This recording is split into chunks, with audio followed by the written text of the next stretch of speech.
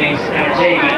It is the Lucas Cubs Marching Band from Lucas, Ohio.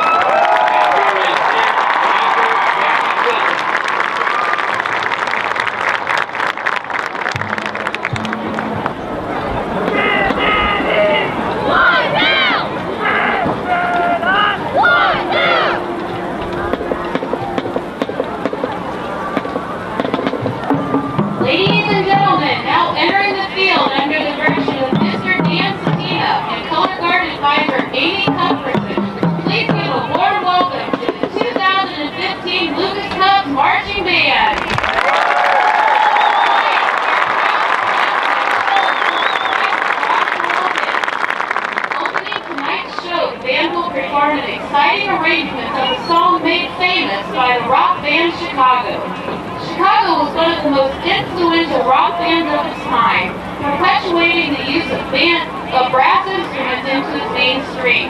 This is the 1969 classic Make Me Smile.